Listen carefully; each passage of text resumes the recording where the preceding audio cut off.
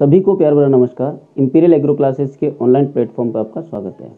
मेरा नाम है राजकुमार नागर और आज से हम एग्रीकल्चर की सीरीज़ शुरू करने जा रहे हैं, जिसमें हम आपको टॉपिक वाइज पढ़ाएँगे। इसमें आपके कई सारे क्वेश्चंस क्लियर कराए जाएँगे और एग्रीकल्चर के लगभग सारे टॉपिक हम आपको क्लियर करवा देंगे। इसमें जितने भी एग्रीकल्चर से रिलेटेड एग्ज़ाम्स हैं, जैसे JET I C A R B H U M P A T जितने भी वेरियस टाइप ऑफ़ एग्ज़ाम्स होते हैं कम्पिटिटिव एग्ज़ाम्स उनकी तैयारी हम इस चैनल के माध्यम से आपको करवाएँगे। आपको टॉपिक वाइज नोट्स भी बताए जाएँगे जो क्वेश्चंस आते हैं उनका ट्रिक भी बताया जाएगा कि कैसे आपको क्वेश्चन को सोल्व करना है कैसे आपको अपना कन्फ्यूज़न दूर करना है कैसे आपको अपने आप को एक्सप्रेस करना है और कैसे आपको क्वेश्चन को अटेंड करना है। क्योंकि कई तरह के क्वेश्चन आते हैं एग्ज़ाम में जो कन्फ्यूज़न क्रिएट करते हैं। जैसे कि आ, कल एक पेपर में क्वेश्चन पूछा हुआ था कि भारत में सबसे ज़्यादा कौन सा फल उगाया जाता है? अब इसमें कुछ लोगों ने बनाना आंसर दिया था, कुछ लोगों ने मैंगो आंसर दिया था। लेकिन उसका जो सही आंसर होगा, वो होगा मैंगो। क्योंकि मैंगो उसमें पूछा हुआ था, उगाया जाता है। एरिया, न कि प्रोडक्शन। एरिया में आपका मैंगो है और प्रोडक्शन में सबसे ज़्यादा उत्पादन बनाना का है। ठीक है? तो चलिए आज से हम शुरू करते हैं नई सीरीज़ आपकी। उससे पहले वीडियो को जल्दी से जल्दी शेयर कर दीजिए और ज़्यादा से ज़्यादा इसको लाइक करें शेयर करें। और सब्सक्राइब करें सब्सक्राइब करें और बेल आइकन पर क्लिक कर लें ताकि आपको हर वीडियो की नोटिफिकेशन डेली आपको मिल जाएगी। आपके चैप्टर वाइज हम आपका क्लियर करवाएँगे सिलेबस को। जितने भी एग्ज़ाम्स हैं उनकी तैयारी आपको इसके माध्यम से रेगुलर चलती रहेगी। आने वाले दो दो, एक या दो महीने के अंदर आपका एग्ज़ाम है डेट का तो उसके लिए आप अभी से तैयार हो जाइए।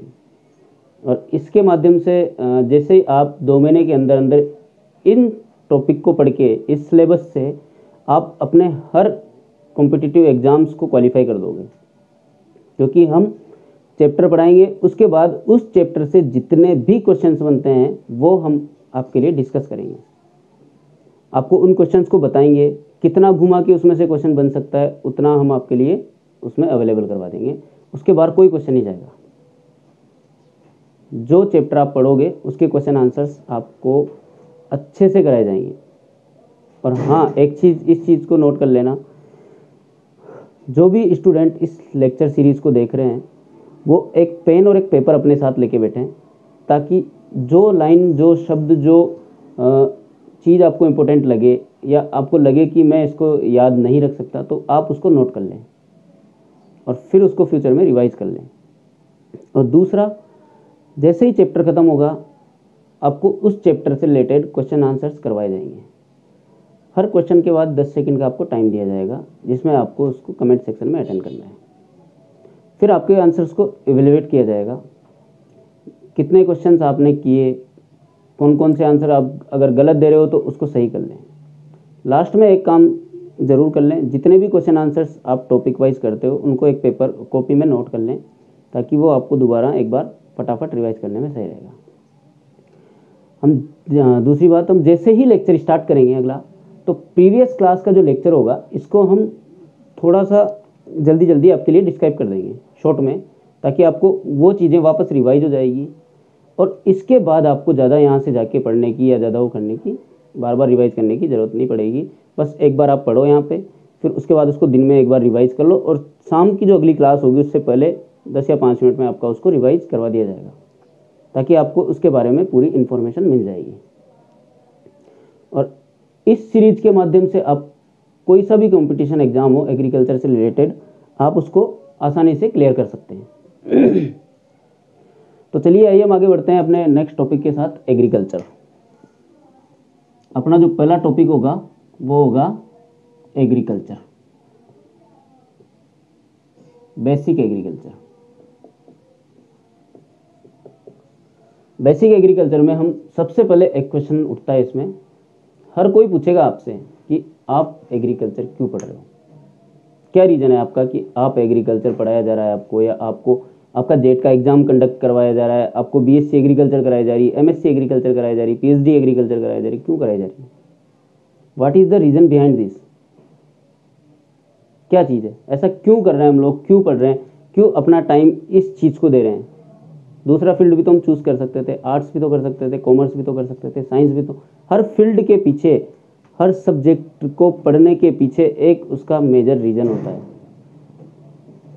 वो रीज़न है कि एग्रीकल्चर को पढ़ाने का तरीका होता है, इस एग्रीकल्चर को पढ़ाने का जो रीज़न है, वो है डेवलपमेंट और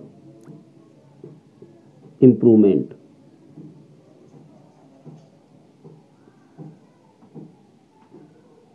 मेंट और इम्प्रूवमेंट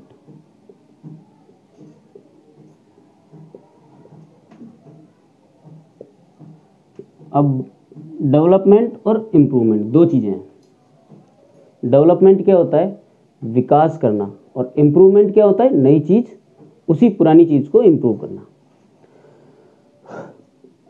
अब आपको ये पता है कि जनसंख्या की दृष्टि से भारत का विश्व में दूसरा स्थान है, प्रथम स्थान पर है चीन। 2011 के डाटा जनगणना के अनुसार 11-12 की जनगणना के अनुसार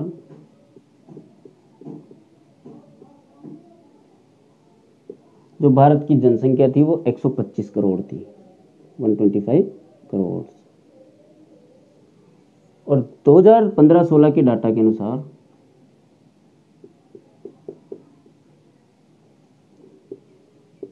जनगणना के अनुसार ये बढ़कर 135 करोड़ हो गई।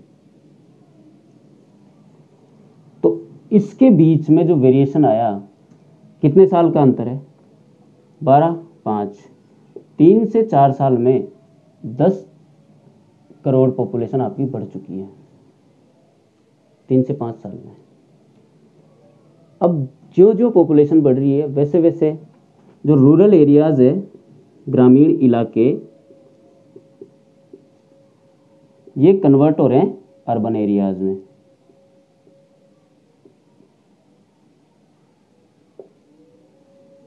रूरल एरिया एरियाज़ कहाँ जा रहे हैं? अर्बन एरियाज़ की तरफ़ पे तो जो ग्रामीण इलाके हैं, वो किसमें परिवर्तित हो रहे हैं? शहरी क्षेत्रों में।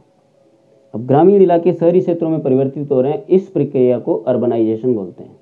शहरीकरण। अब इसमें क्या हो रहा है? जितनी भी एग्रीकल्चर लैंड है, वो लैंड कृषि योग्य जो भूमि है, वो इंडस्ट्रीज़ के द्वारा प्लस जो लोग है, जन, जनता है, जो शहरों की, उनके द्वारा ऑक्यूपाई की जा रही है, उनके द्वारा कब्जाई जा रही है, और वो लोग कृषि के बजाय उनमें कंस्ट्रक्शन कर रहे हैं। चाहे वो मकान बना रहे हो, चाहे वो प्लांट बना रहे हो, कोई नया थर्मल प्लांट खोल रहे हो, कोई फैक्ट्री डाल रहे हो, कुछ भी कर रहे हैं, लेकिन एग्रीकल्चर की जो लैंड है, वो कन्वर्ट हो रही है इंडस्ट्रियल लैंड में। उसका सीधा इफ़ेक्ट पड़ रहा है अपने एग्रीकल्चर पे। और एग्रीकल्चर पे इफ़ेक्ट पड़ रहा है तो उसका सीधा इफ़ेक्ट पड़ रहा है अपनी जनता पर। क्योंकि आबादी बढ़ रही है और एग्रीकल्चर लैंड कम हो रही है।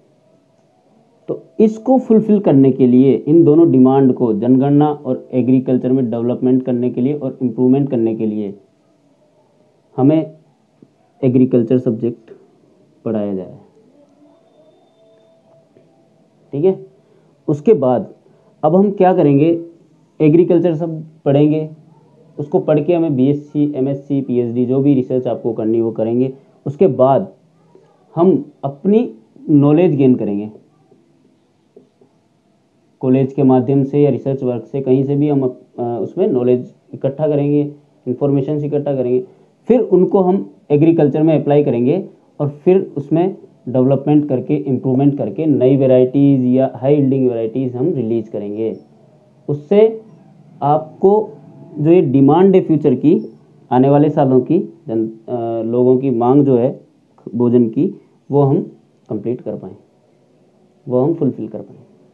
इस वजह से इस वजह से आपको एग्रीकल्चर पढ़ना है। माय फ्रेंड्स ऐसे पढ़ते हैं। ऐसे आपको कॉन्सेप्ट क्लियर करना है। टाइम पास नहीं करना है। कॉन्सेप्ट क्लियर करना है। कॉन्सेप्ट क्लियर कैसे होंगे? एग्रीकल्चर आया, अब आपको क्यों पढ़ना है? सबसे पहला क्वेश्चन यही होगा, आपको इंटरव्यू में भी पूछ सकते हैं कि भाई हम क्यों एग्रीकल्चर पढ़ें? क्या रीज़न है? क्यों पढ़ रहे हो आप एग्रीकल्चर हर किसी से यही क्वेश्चन पूछा जाता है। आई एस से भी यही क्वेश्चन पूछते हैं इंटरव्यू में कि आप क्यों आईएएस बनना चाहते हो? क्या रीज़न है कि आप आईएएस या आईपीएस बनना चाहते हैं? क्या रीज़न है? आपने यूपीएससी चूज़ किया। तो यही रीज़न है कि आप BSc agriculture MSc agriculture PhD post PhD जो भी आप करना चाहो साइंटिस्ट वगैरह जो भी हो, आप इसके माध्यम से बन सकते हैं। रही बात आपके जेट एग्जामिनेशन की तो इस बार मैं आपको थोड़ी सी इन्फॉर्मेशन देना चाहूँगा इसके बारे में।